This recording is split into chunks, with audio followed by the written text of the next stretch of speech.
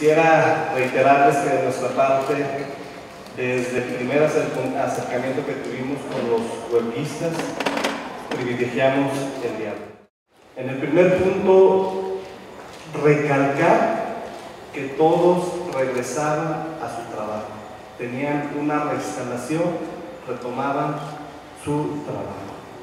En el primer, este fue el documento final, porque ayer en la mesa de negociación que se tuvo, hubo una, eh, una propuesta inicial que se le llevó a los huelguistas, hubo una, una contrapropuesta de parte de ellos, y al, al final quedó esta propuesta definitiva que ellos eh, vía telefónica rechazaron. Y, me gustaría leerse. Doctor Pedro Martínez Arteaga, secretario general del Estahuas, presente. Por medio de la presente y en atención a la respuesta verbal dada por los ciudadanos Erika Isabel Varela Rodríguez, Juan Aristides Reyes Castañón, Nancy Evelyn Rodríguez Ornella, Miguel Reyes Cardona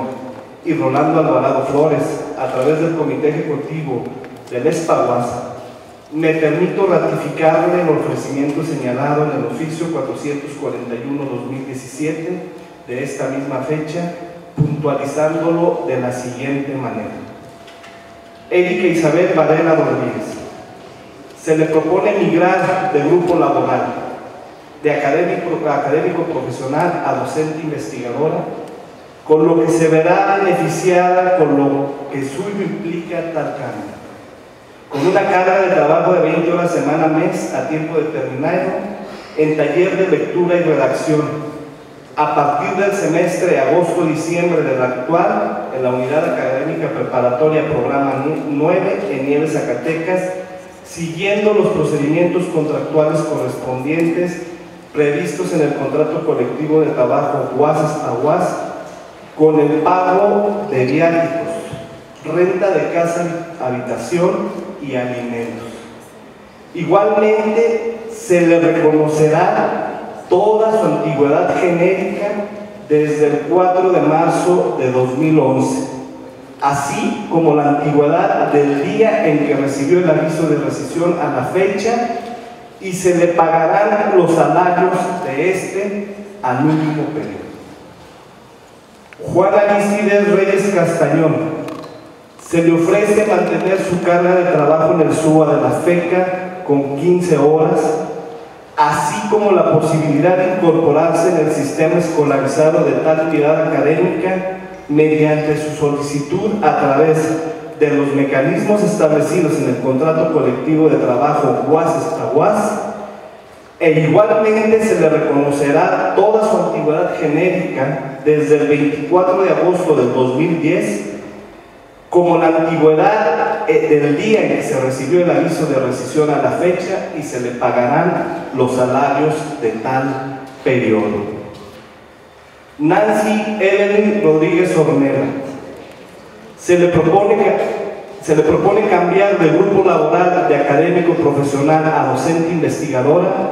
con lo que se verá beneficiada por lo que implica tal cambio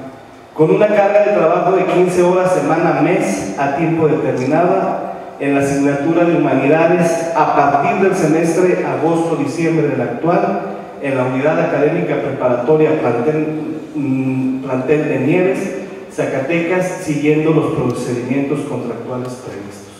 De la misma manera se le pagaría viáticos, hospedaje, alimentación y los salarios que, que tienen caídos de, a partir que se le entregó el documento de la rescisión. Miguel Reyes Cardona. Se le propone cambiar de grupo laboral de académico profesional a docente investigador, con lo que se verá beneficiado con dicho cambio con una carga de trabajo de 15 horas semana mes a tiempo determinado en la asignatura de humanidades a partir del semestre agosto-diciembre del actual en la unidad académica preparatoria Plantel Nieves Zacatecas, siguiendo los procedimientos contractuales correspondientes previstos en el contrato colectivo de trabajo UAS Aguas con el pago de viáticos, renta de casa, habitación y alimentos. Igualmente se le reconocerá su antigüedad genérica desde el 6 de septiembre de 2012, así como la antigüedad del día en que recibió el aviso de rescisión a la fecha, y se le pagarán los salarios de tal periodo. Respecto a la deuda de los salarios devengados anterior a la fecha de la, de la rescisión, el día de hoy serían pagados los mismos. Viridiana Reina de Luna, se le propone cambiar de grupo laboral de académico profesional a docente investigador,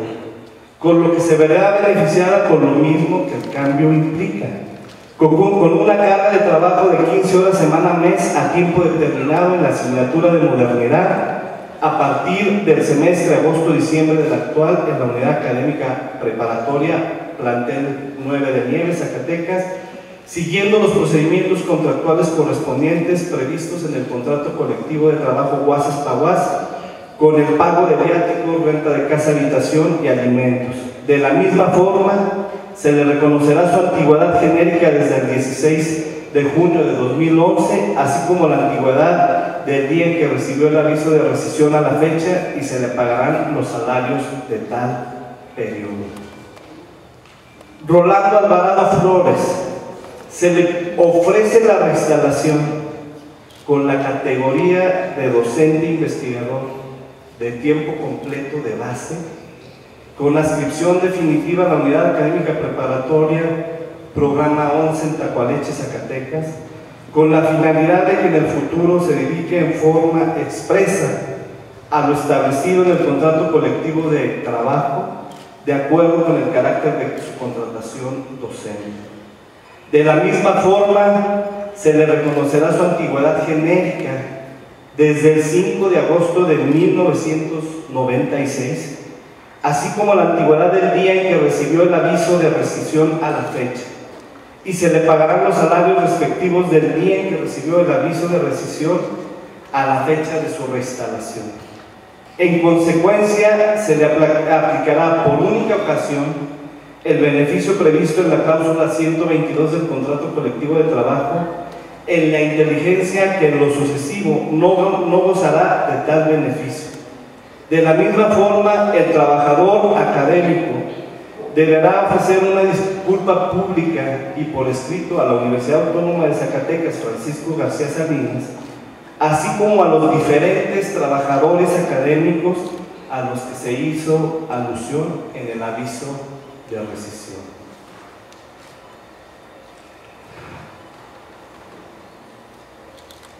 Dentro del, mismo, dentro del mismo término y las condiciones que se acuerden,